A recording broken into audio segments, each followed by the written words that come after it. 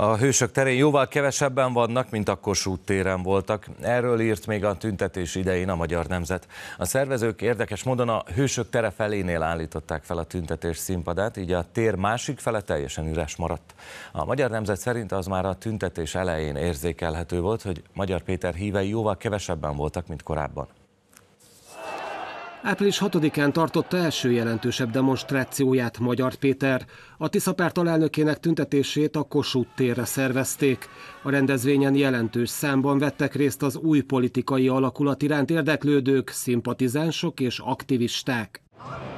Magyar Péter később a Várkert bazárhoz, vagyis a vita helyszínére szervezett újabb tüntetést. A felvételekből látszik, hogy ott már sokkal kevesebben voltak, mint korábban a Kossuth téren.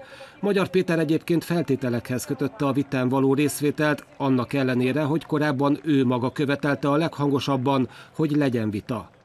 Kampányzáró tüntetését szombat délután kettő órára hirdette meg Magyar Péter a Hősök terére. Az M1 drónfelvétele szerint így nézett ki a tér egy órával később. A színpadot a szervezők a Hősök terek közepére helyezték el, így a tér egyik fele üresen maradt. A szervezők láthatóan nagyobb tömegre számítottak, a szemközti utcákban több kivetítő és hangszóró is volt, amelyek közelében csak lézengtek az emberek. Magyar Péter azt állítja, egyetlen forintot sem költöttek önmaguk és a kampányzáró demonstráció reklámozására, de ez nem igaz. Erről írt a 444. A balliberális portál szerint ugyanis a Tisza párt a Youtube-on fizetett hirdetésben reklámozta a szombati tüntetést. A 444 azt is írta, a tér központi része teljesen megtelt. A Telex Partizán 444 azt hazudja, tele van a hősök tere, hazudnak. Ezt írt a közösségi oldalán Deák Dániel. A 21. század intézet vezető elemzője óriási kudarcnak nevezte Magyar Péter rendezvényét. Deák Dániel azt írta, hiába kampányol mindennapi zombol a Telex Partizán 444, Magyar Péter már a lejtőn van.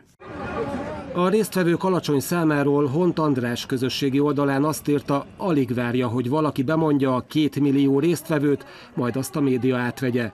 A publicista úgy fogalmazott, ügyesen fényképezett képekkel lesz tele az összes felület, a valóságot, vagyis a résztvevők alacsony számát egy videóval illusztrálta Hont András. Magyar Péter korábban hangosan támadta a békemenetet, és minden idők legkisebb érdeklődést kiváltó békemenetének nevezte a rendezvényt.